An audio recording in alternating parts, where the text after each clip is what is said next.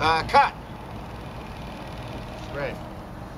Bruce, uh, wonderful performance. Uh, you can relax for 10 minutes.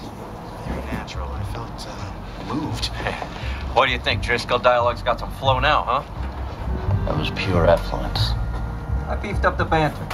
Try to resist that impulse. Hmm? It's just a little bit of humor, bud. What are you, Bolshevik or something? Actors.